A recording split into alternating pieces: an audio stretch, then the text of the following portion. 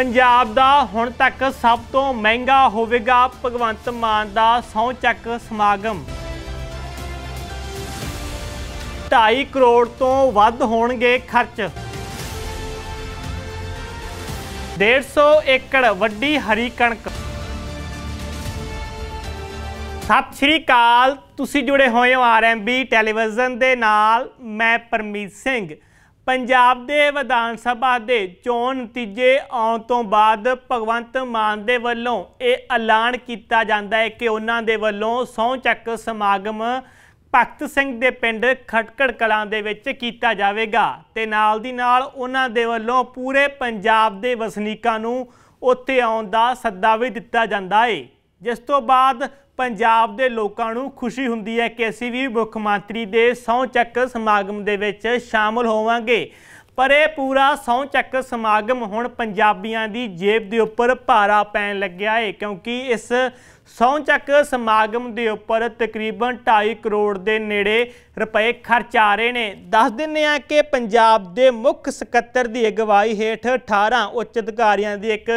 ਵਿਸ਼ੇਸ਼ ਮੀਟਿੰਗ ਦੇ ਵਿੱਚ ਇਹ ਹੁਕਮ ਦਿੱਤੇ ਗਏ ਨੇ। ਮਾਲ ਮਹਿਕਮੇ ਨੂੰ ਕਿ ਭਗਵੰਤ ਮਾਨ ਦੇ ਮੁੱਖ ਮੰਤਰੀ ਦੇ ਸਹੁੰ ਚੱਕ ਸਮਾਗਮ ਦੇ ਲਈ 2 ਕਰੋੜ ਰੁਪਏ ਜਾਰੀ ਕੀਤੇ ਜਾਣ। ਨਾਲ ਦੀ ਨਾਲ ਸਮਰਥਕਾਂ ਨੂੰ ਖਟਕੜ ਕਲਾਂ ਦੇ ਵਿੱਚ ਲਿਆਉਣ ਦੇ ਲਈ ਹਰੇਕ ਜ਼ਿਲ੍ਹੇ ਨੂੰ 2-2 ਲੱਖ ਰੁਪਏ ਵੀ ਅਲਾਟ ਕੀਤੇ ਜਾਣ। ਜਿਵੇਂ ਇਸ ਤੋਂ ਪਹਿਲਾਂ ਅੰਮ੍ਰਿਤਸਰ ਦੇ ਵਿੱਚ ਰੋਡ ਸ਼ੋਅ ਕਰਨ ਦੇ ਲਈ ਪੂਰੇ ਪੰਜਾਬ ਭਰ ਦੇ ਸਮਰਥਕਾਂ ਨੂੰ ਪੀਆਰਟੀਸੀ ਦੀਆਂ ਬੱਸਾਂ ਦੇ ਵਿੱਚ ਲੱਦ ਕੇ ਅੰਮ੍ਰਿਤਸਰ ਲਿਆਂਦਾ ਗਿਆ ਸੀ ਤੇ ਇਸ ਵਾਰ ਵੀ ਲੱਗਦਾ ਇਸ ਤਰ੍ਹਾਂ ਹੀ ਹੋਊਗਾ ਕਿਉਂਕਿ 2-2 ਲੱਖ ਰੁਪਏ ਫਿਰ ਹਰੇਕ ਡੀਸੀ ਨੂੰ ਅਲਾਟ ਕੀਤੇ ਗਏ ਨੇ। ਸਮਰਥਕਾਂ ਨੂੰ ਭਗਵੰਤ ਮਾਨ ਦੇ ਸਹੁੰ ਚੱਕ ਸਮਾਗਮ ਦੇ ਵਿੱਚ ਲਿਆਉਣ ਦੇ ਲਈ ਦੱਸ ਦਿੰਦੇ ਆ ਕਿ ਇਸ ਤੋਂ ਪਹਿਲਾਂ ਪੰਜਾਬ ਦੇ ਵਿੱਚ ਕਿਹੜੇ ਕਿਹੜੇ ਸਹੁੰ ਚੱਕ ਸਮਾਗਮਾਂ ਦੇ ਉੱਪਰ ਕਿੰਨੇ ਰੁਪਏ ਖਰਚ ਹੋਏ ਹੋਇਆ ਜੋ ਇਸ ਤੋਂ ਪਹਿਲਾਂ ਬਾਹਰ ਕੀਤੇ ਗਏ ਸੀ? 2012 ਦੇ ਵਿੱਚ ਅਕਾਲੀ ਭਾਜਪਾ ਸਰਕਾਰ ਦੇ ਚੱਪੜਚਿੜੀ ਵਿੱਚ ਹੋਏ ਸਹੁੰ ਚੱਕ ਸਮਾਗਮ ਦੇ ਉੱਪਰ 91 ਲੱਖ ਰੁਪਏ ਦਾ ਖਰਚ ਆਇਆ ਸੀ। ਇਸ ਤੋਂ ਬਾਅਦ ਜਦੋਂ 2009 ਦੇ ਵਿੱਚ ਸੁਖਬੀਰ ਬਾਦਲ ਦੇ ਵੱਲੋਂ ਉਪ ਮੁੱਖ ਮੰਤਰੀ ਦੇ ਵਜੋਂ ਸਹੁੰ ਚੁੱਕੀ ਗਈ ਤੇ ਇਸ ਪੂਰੇ ਸਮਾਗਮ ਦੇ ਉੱਪਰ 70 ਲੱਖ ਰੁਪਏ ਖਰਚ ਹੋਏ ਸੀ ਤੇ ਕੁਝ ਮਹੀਨੇ ਪਹਿਲਾਂ ਜਦੋਂ ਚਰਨਜੀਤ ਚੰਨੀ ਦੇ ਵੱਲੋਂ ਪੰਜਾਬ ਦੇ ਮੁੱਖ ਮੰਤਰੀ ਦੇ ਅਹੁਦੇ ਦੇ ਲਈ ਸਹੁੰ ਚੁੱਕੀ ਸੀ। ਇਸ ਪੂਰੇ ਪ੍ਰੋਗਰਾਮ ਦੇ ਉੱਪਰ, ਸਮਾਗਮ ਦੇ ਉੱਪਰ 18 ਲੱਖ ਰੁਪਇਆ ਖਰਚ ਆਇਆ ਸੀ, ਪਰ ਇਸ ਸਮੇਂ ਭਗਵੰਤ ਮਾਨ ਦੇ ਮੁੱਖ ਮੰਤਰੀ ਦੇ ਸਹੁੰ ਚੱਕ ਸਮਾਗਮ ਦੇ ਉੱਪਰ 2.5 ਕਰੋੜ ਤੋਂ ਵੱਧ ਰੁਪਏ ਖਰਚ ਆਉਣ ਜਾ ਰਹੇ ਨੇ। ਨਾਲ ਦੀ ਨਾਲ ਤੁਹਾਨੂੰ ਦੱਸ ਦਿੰਨੇ ਆ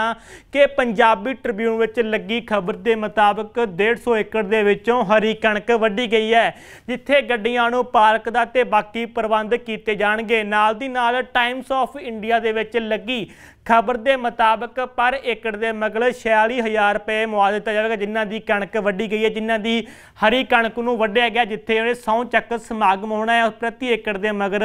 46000 ਰੁਪਏ ਦਿੱਤੇ ਜਾਣਗੇ। ਨਾਲ ਦੀ ਨਾਲ ਤੁਹਾਨੂੰ ਇਹ ਵੀ ਦੱਸ ਦਿੰਨੇ ਆ ਕਿ ਜੋ ਸੋਸ਼ਲ ਮੀਡੀਆ ਦੇ ਉੱਪਰ ਇੱਕ ਲੈਟਰ ਵਾਇਰਲ ਹੋਇਆ ਚਿੱਠੀ ਵਾਇਰਲ, ਜਿਸ ਦੇ ਵਿੱਚ ਲਿਖਿਆ ਹੋਇਆ ਹੈ ਕਿ ਪੰਜਾਬ ਦੇ ਵੱਖਰੇ ਵੱਖਰੇ ਸੈਟੇਲਾਈਟ ਚੈਨਲ ਨੂੰ ਕਿੰਨੇ ਕਿੰਨੇ ਰੁਪਏ ਅਲਾਟ ਕੀਤੇ ਗਏ ਨੇ। ਭਗਵੰਤ ਮਾਨ ਦੇ ਮੁੱਖ ਮੰਤਰੀ ਸਹੁੰ ਚੱਕ ਸਮਾਗਮ ਦੀ ਮਸ਼ਹੂਰੀ ਕਰਨ ਦੇ ਲਈ ਤਕਰੀਬਨ ਇਹ 85 ਲੱਖ ਦਾ ਇੱਕ ਪੂਰਾ ਲੈਟਰ ਵਾਇਰਲ ਜਿਸ ਜਿੱਥੇ ਦਿਖਾਇਆ ਜਾ ਰਿਹਾ ਹੈ ਕਿ ਵੱਖ-ਵੱਖ ਚੈਨਲਾਂ ਨੂੰ ਕਿੰਨੇ ਕਿੰਨੇ ਰੁਪਏ ਅਲਾਟ ਕੀਤੇ ਗਏ। ਇੱਕ ਪਾਸੇ ਤਾਂ ਪੰਜਾਬੀਆਂ ਨੂੰ ਲੱਗਦਾ ਸੀ ਕਿ ਪੰਜਾਬ ਦੇ ਵਿੱਚ ਨਵੀਂ ਸਰਕਾਰ ਬਣੀ ਹੈ ਤੇ ਪੰਜਾਬ ਦੇ ਜੋ ਖਰਚੇ ਨੂੰ ਘਟਾਵੇਗੀ, ਪਰ ਹੁਣ ਤੱਕ ਦਾ ਪੰਜਾਬ ਦਾ ਸਭ ਤੋਂ ਮਹਿੰਗਾ ਇਹ ਸਹੁੰ ਚੱਕ ਸਮਾਗਮ ਹੋਣ ਜਾ ਰਿਹਾ ਇਸ ਵਿੱਚ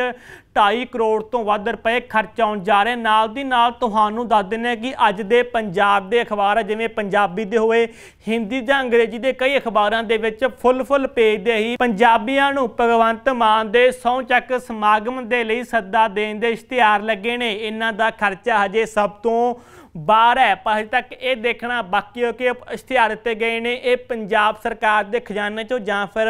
ਪਾਰਟੀ ਨੇ ਆਪਣੇ ਫੰਡ ਦਿੱਤੇ ਨੇ, ਪਰ ਇਹ ਸਭ ਦੇ ਪੰਜਾਬ ਦੇ ਖਜ਼ਾਨੇ ਉੱਪਰ ਇੱਕ ਵੱਡਾ ਬੋਝ ਪੈਣ ਜਾ ਰਿਹਾ ਜਿਵੇਂ ਇਸ ਤੋਂ ਪਹਿਲਾਂ ਅੰਮ੍ਰਿਤਸਰ ਜਿੱਦੇ 11 ਮਾਰਚ ਨੂੰ ਰੋਡ ਸ਼ੋਅ ਸੀ, ਉਹਦੇ ਵੀ ਪੰਜਾਬ ਦੇ ਲੋਕ ਖੱਜਲ ਖਵਾਰ ਹੁੰਦੇ ਕਿਉਂਕਿ ਪੰਜਾਬ ਦੇ 1000 ਦੇ ਨੇੜ ਪੀਆਰਟੀਸੀ ਬੱਸਾਂ ਅੰਮ੍ਰਿਤਸਰ ਗਈਆਂ ਸੀ, ਆਮ ਆਦਮੀ ਪਾਰਟੀ ਦੇ ਵਰਕਰਾਂ ਨੂੰ ਲੈ ਕੇ ਤੇ ਇੱਕ ਵਾਰ ਫਿਰ 16 ਮਾਰਚ ਨੂੰ ਲੱਗਦਾ ਇੱਕ ਵਾਰ ਅਜਿਹਾ ਮਾਹੌਲ ਫਿਰ ਬਣ ਜਾ ਰਿਹਾ ਜਦੋਂ ਪੰਜਾਬ ਦੀਆਂ ਪੀਆਰਟੀਸੀ ਬੱਸਾਂ ਭਗਵੰਤ ਮਾਨ ਦੇ ਸਹੁੰ ਚੱਕ ਸਮਾਗਮ ਵਿੱਚ ਜਾਣਗੀਆਂ ਤੇ ਪੰਜਾਬ ਦੇ ਲੋਕ ਫਿਰ ਇੱਕ ਵਾਰ ਖੱਜਲ ਖਵਾਰ ਹੋਣਗੇ। ਅਜਿਹੀਆਂ ਹੋਰ ਖਬਰਾਂ ਦੇ ਲਈ ਜੁੜੇ ਰਹੋ। ਆਰਐਮਬੀ ਟੈਲੀਵਿਜ਼ਨ ਦੇ ਨਾਲ ਧੰਨਵਾਦ।